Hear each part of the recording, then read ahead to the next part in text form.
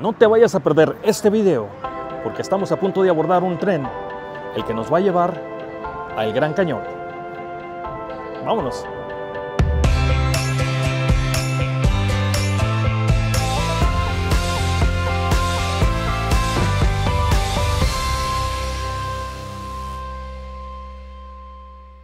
Pareciera ser que el abordar un tren suele ser una de mis aventuras más relevantes de mis últimos viajes.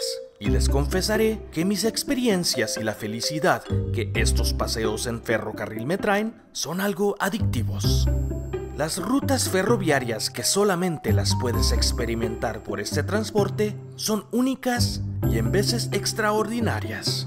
Y aunque no es mi primera vez en visitar el Gran Cañón, sí es mi primera vez en visitar este parque por medio de un tren, donde tuvimos una cita en los ferrocarriles de Williams, Arizona a las 9 de la mañana.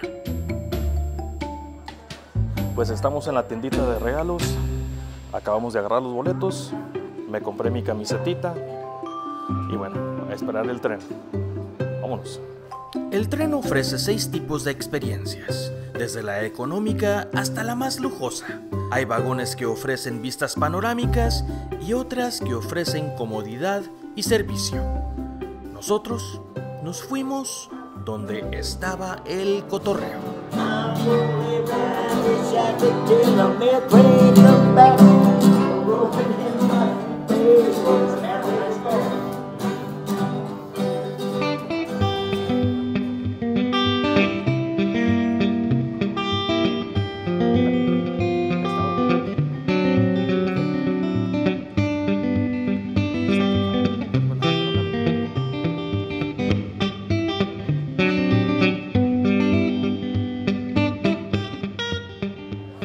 Aparentemente va a haber un show de vaqueros.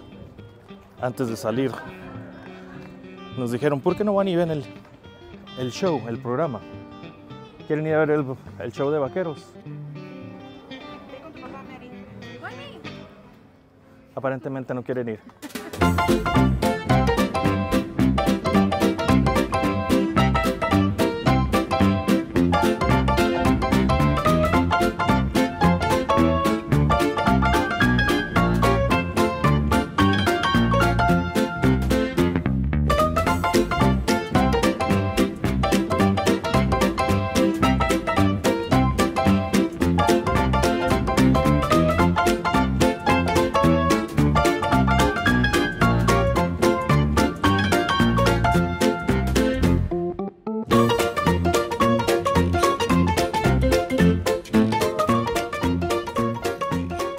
Salimos de la ciudad de Williams, se nos informó que el tren llegaría a El Gran Cañón en aproximadamente 2 horas y 15 minutos.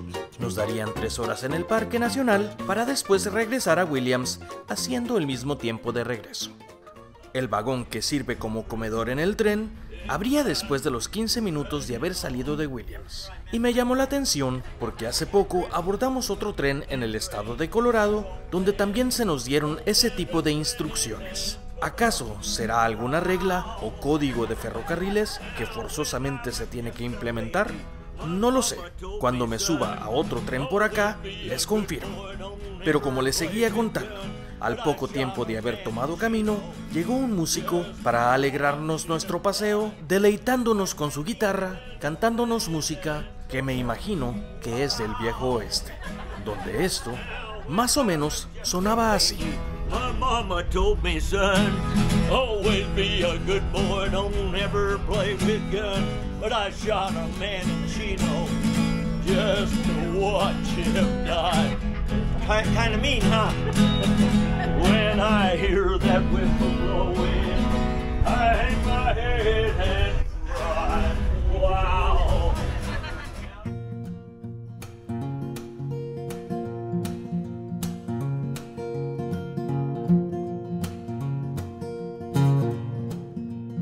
Justo antes de entrar a el parque del Gran Cañón, el panorama desértico cambia drásticamente a un escenario más boscoso. Un cambio el cual si te descuidas, no sabes cuándo fue que los aguaros se convierten en pinos. El tren baja su velocidad homologada, haciendo una entrada al parque medio dramática, atravesando varias calles que conectan entre sí, que conforman el circuito motorizado de esta zona.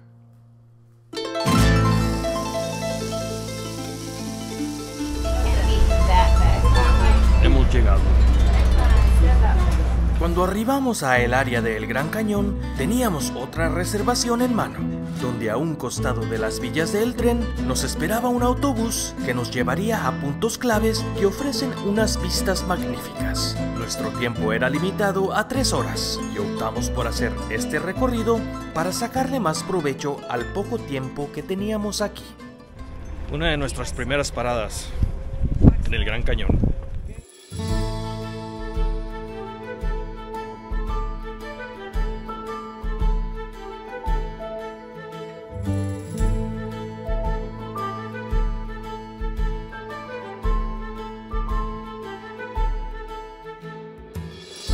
Si alguna vez has escuchado la frase o el decir que una fotografía no le hace justicia, este sería el lugar.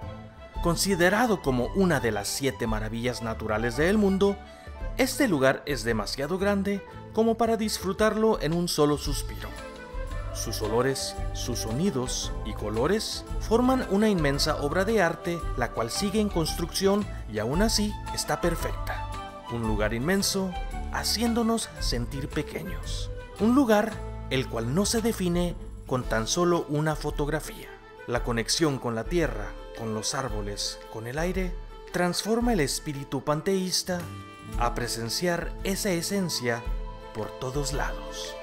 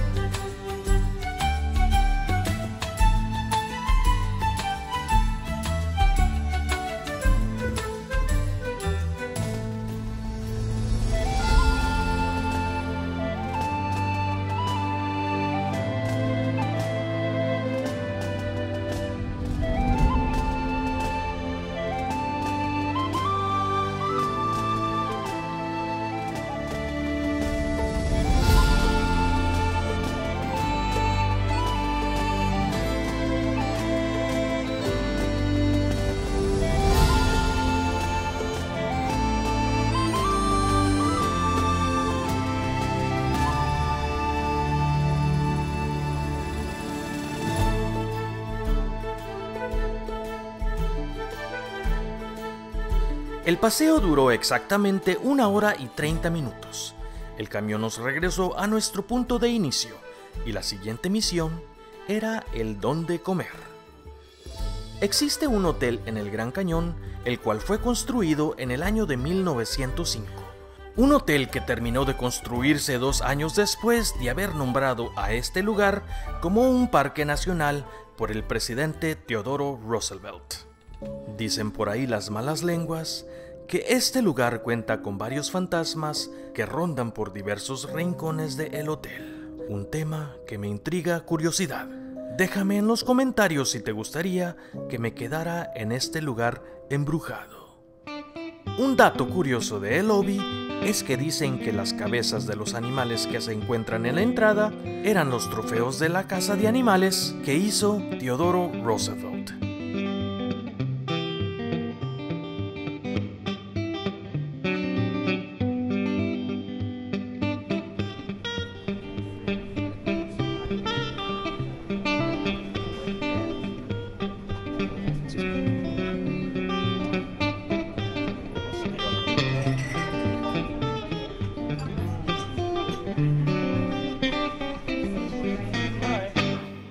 Supuestamente este hotel Está embrujado.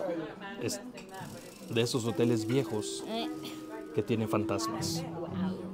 La intención era quedarnos aquí, pero con el accidente que pasó, con eso de Del agua. se rompió una, una línea de agua, que es la que alimenta todos, est- todos estos hoteles, todas estas áreas. Eh, pues bueno, ese plan se tuvo que cancelar.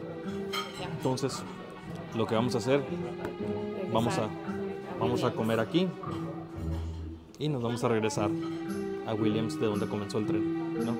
Pero para la próxima sí nos quedamos. Y comer un pie. En Williams. Y comemos pie. pues eso es el Tobar, el hotel embrujado, que se encuentra cerrado por ahorita, pero regresaremos.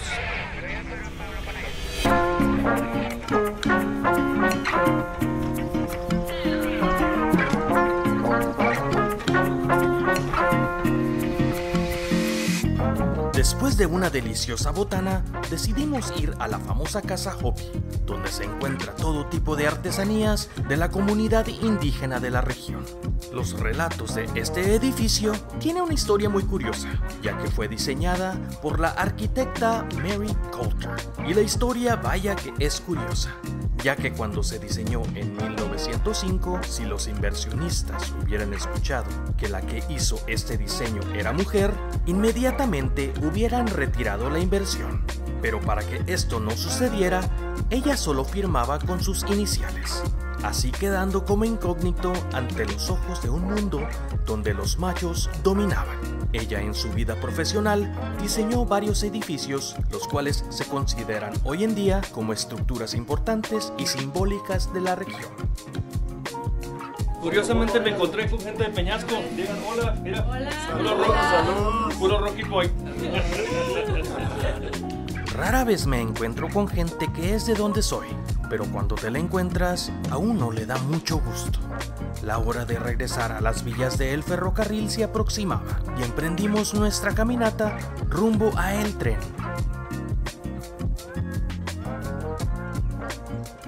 Esperamos a subir mientras nos tomábamos unas fotos para el Face. Un viaje, el cual todo esto fue posible gracias a la visión que se tuvo hace más de 125 años. Un lugar que fue difícil asentar las villas ferroviarias, sin embargo, la astucia y dedicación que aquellos hombres entregaron no fue en vano. Después de un siglo y cuarto, aquí andamos, disfrutando las maravillas de la naturaleza que nos obsequió. Espero y te haya gustado esta aventura. No dejes de dejarme un comentario. Cuéntame si a ti también te gustan los trenes. Regálame un like y comparte para que este video llegue a más vistas. Si no lo has hecho, suscríbete. Tendremos más aventuras, historias y quizás algo de terror. Gracias si llegaste hasta aquí. Nos vemos.